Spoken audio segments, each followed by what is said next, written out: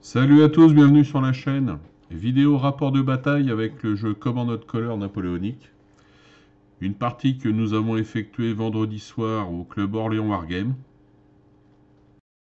Le scénario était la deuxième bataille de Polotsk ayant eu lieu le 18 octobre 1812.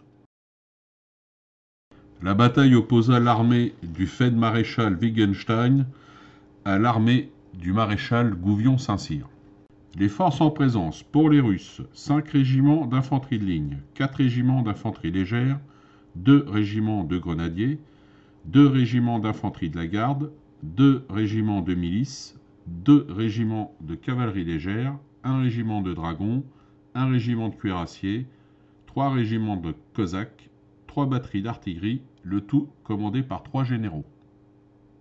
Pour les Français, 8 régiments d'infanterie de ligne, 4 régiments d'infanterie légère, 3 régiments de cavalerie légère, 1 régiment de cuirassiers, 1 régiment de dragons, 3 batteries d'artillerie, le tout commandé par 3 généraux. Voilà la carte de déploiement. Les deux hexagones de Polosk représentent une bannière de victoire chacun. Il est rappelé que le premier joueur qui atteindra les 8 bannières de victoire remportera la partie. Chaque régiment détruit rapportant une bannière de victoire, sauf les Cosaques et les milices. Mon camarade Erwan dirigera les Français et je dirigerai les Russes.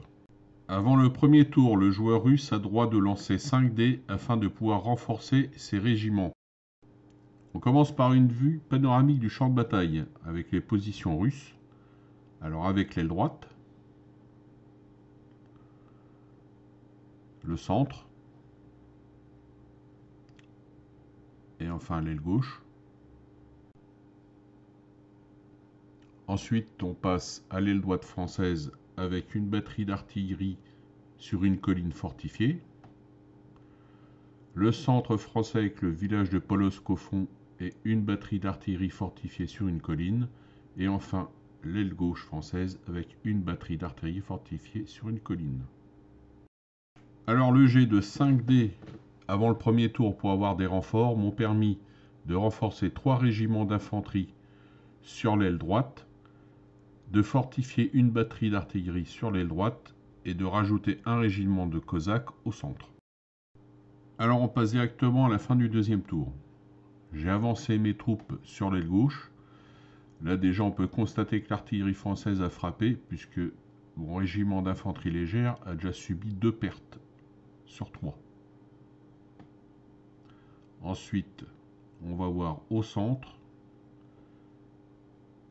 ma batterie d'artillerie a déjà subi une perte.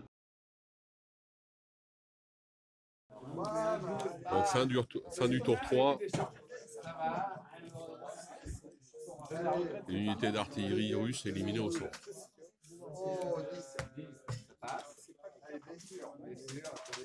Fin du tour 4.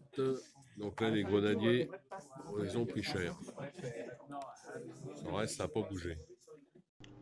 Alors, fin du cinquième tour, mes régiments d'infanterie légère sont en grande difficulté puisque les 4 n'ont plus qu'un quart de leurs effectifs et j'ai déjà perdu deux régiments.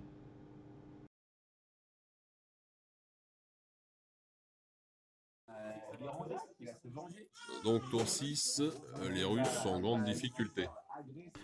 En effet, les pertes s'élèvent à 5 régiments. Les Français sont à 3 points de la victoire.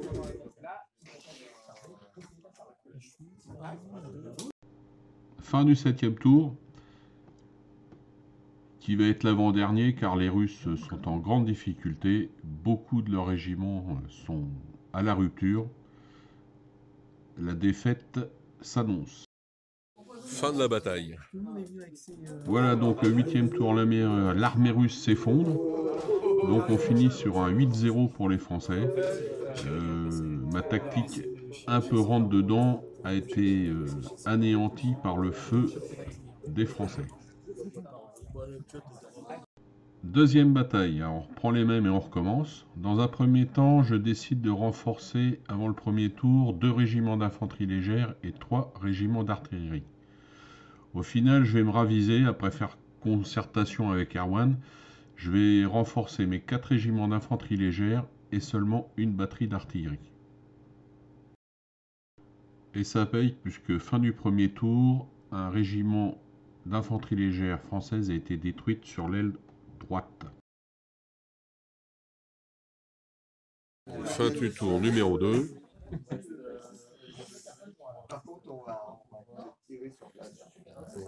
Avec l'élimination d'une unité d'infanterie française sur l'aile droite. Deux unités d'infanterie légère. Donc là, sur l'aile droite, élimination d'une unité d'infanterie russe.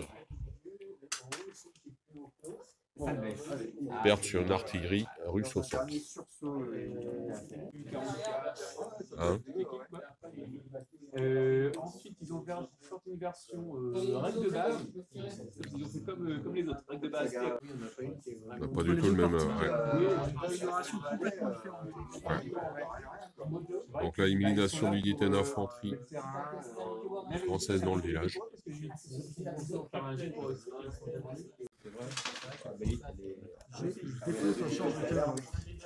On a statu...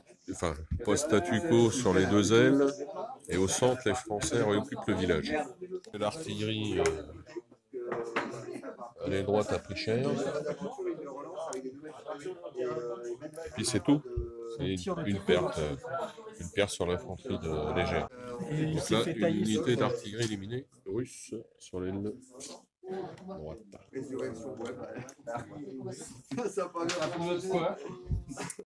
Voilà, c'est le dernier tour, on n'aura pas pu aller au bout de la bataille. Les Russes ont pris le village du centre et ils poussent toujours sur l'aile droite. Donc euh, victoire au point des Russes pour cette partie avec 4 pertes françaises contre 2 pertes russes. Voilà la fin de cette vidéo, j'espère que ça vous aura plu. N'oubliez pas de liker. A bientôt dans de prochaines vidéos. D'ici là, bon jeu et bonne peinture.